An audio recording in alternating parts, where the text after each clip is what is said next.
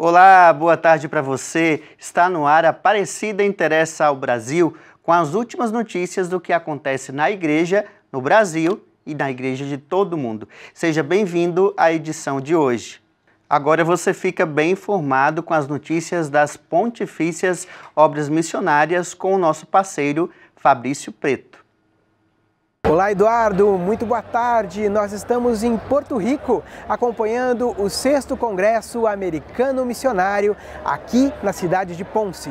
Hoje nós estamos aqui na Universidade Católica, onde acontece o encontro reunindo missionários e missionárias de todos os países da América. Nesses dias, o tema a ser discutido é América com a força do Espírito, testemunhas de Cristo. O encontro iniciou ontem, na terça-feira e se estende até o próximo domingo com diversas atividades, conferências, palestras e também atividades missionárias aqui na cidade de Ponce.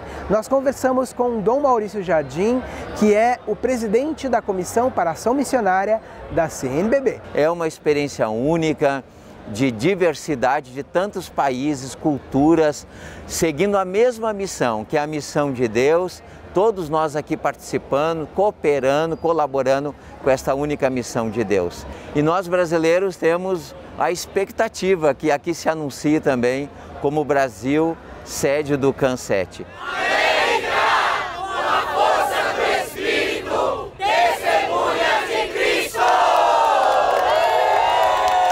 Nós voltamos na próxima semana com muito mais novidades sobre o Cansês, que encerra neste próximo domingo. Até mais. Até mais, Fabrício. Muito obrigado pelas informações. A Pastoral Afro da Arquidiocese de Aparecida convida você para a celebração de hoje, Dia da Consciência Negra, na Igreja Matriz de São Benedito e Aparecida. Será um momento de celebração sobre a importância da cultura afro-brasileira, da igualdade e da fé. A Diocese de Caicó, no Rio Grande do Norte, completa 85 anos no próximo dia 25 de novembro. As celebrações ocorrem na Catedral de Santana, veja só. Sob a proteção de Santana, Mãe da Imaculada Virgem Maria, a Diocese de Caicó convida para as comemorações alusivas aos 85 anos da criação da Diocese de Caicó, com a solene celebração da Santa Missa, presidida por Dom João Santos Cardoso, arcebispo metropolitano de Natal na Catedral de Santana de Caicó, no dia 25 de novembro de 2024, às 19 horas. Morreu aos 84 anos Dom, Dom José Luiz Ascona Hermoso, bispo emérito da Prelazia do Marajó, no Pará. Dom Ascona fez história no serviço da defesa pelos direitos humanos. Ele tratava desde junho um câncer no pâncreas e estava internado na capital, Belém.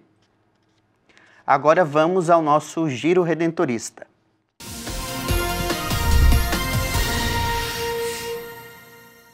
A província redentorista de Brasília anuncia a ordenação presbiteral do diácono Eurípides da Silva Júnior, que vai acontecer na Igreja Matriz do Divino Pai Eterno, em Trindade, no estado de Goiás, às sete da noite, no próximo sábado, dia 23.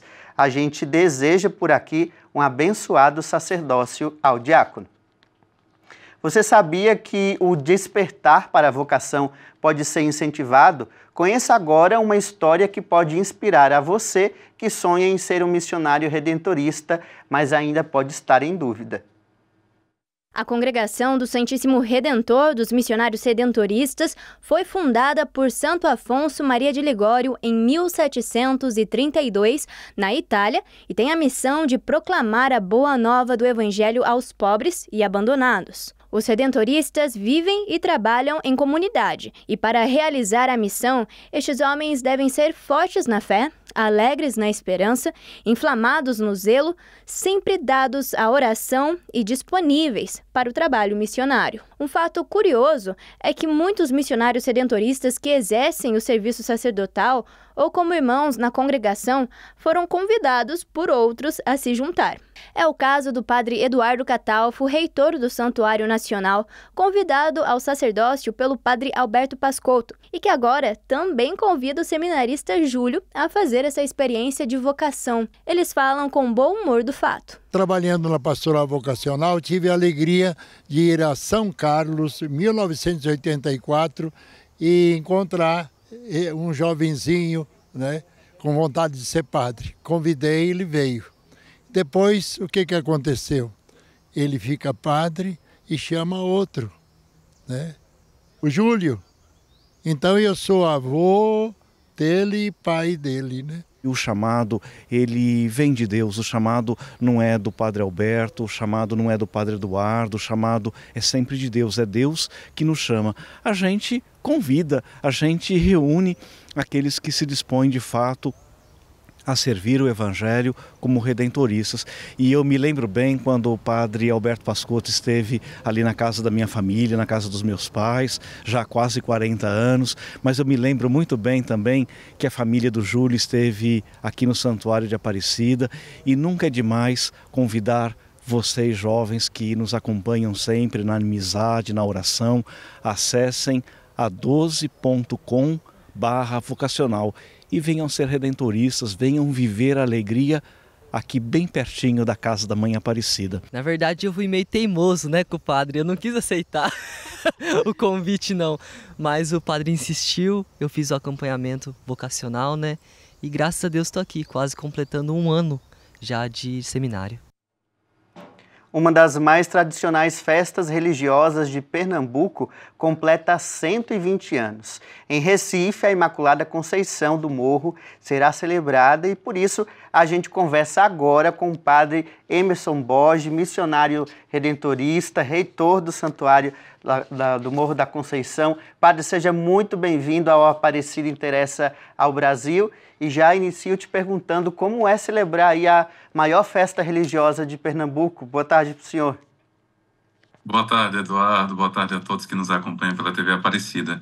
A, a, responsabilidade é muito grande, né, diante do que a festa do Morro da Conceição ela se propõe em ser aqui no estado de Pernambuco e a nível de Brasil também podemos dizer assim, a maior festa religiosa aqui na nossa região e isso vai cada vez mais aumentando a proporção dessa festa e todos nós somos convidados como missionário redentorista, que eu não sou sozinho aqui no santuário, temos outros dois confrades. A partir dessa experiência missionária, nós vamos dando a nossa contribuição e tornando essa festa um pouquinho mais conhecida daquilo que ela já é nesses 120 anos de existência aqui no Morro da Conceição, em Recife. Padre, o que nos ensina né, o tema 120 anos de peregrinação e esperança com a Imaculada Conceição do Morro?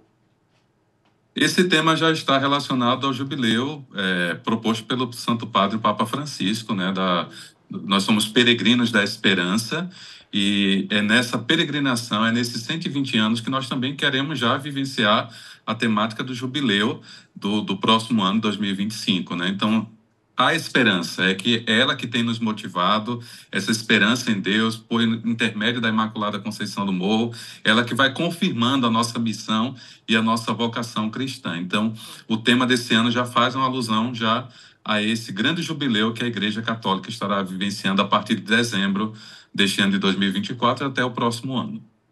Padre, esse ano serão dois finais de, se de, semana de festividades, né? E o que é que o fiel devoto de Nossa Senhora da Conceição pode esperar aí nessa programação bonita desse ano? Então, a, festa tem dois finais de semana e os finais de semana, certamente, no sábado e no domingo, a, a programação ela tem um pouquinho mais de atividade, celebrações de Santa Missa, confissões, né, acolhimento aos devotos. E a festa desse ano, Eduardo, ela vai concluir no domingo, que é o dia 8 de dezembro. Então, certamente, uh, o público vai aumentar, né? Os devotos que não podem vir durante a semana vão vir aqui ao Morro da Conceição participar da tradicional procissão e coroando a festa à noite com a celebração com o nosso arcebispo Dom Paulo, aqui da Arquidiocese de Olinda e Recife. Então, temos dois finais de semana que certamente o número de devotos vão duplicar, mas nós estamos preparando uma festa muito bonita para quem vier aqui ao Morro da Conceição saia daqui um pouquinho mais fortalecido na esperança e na fé. Agora antes de encerrar o nosso programa, faça um convite especial aí a todo o povo do Recife e também os turistas, milhares de turistas que vão até é, Recife, para que possam acompanhar e prestigiar a festa.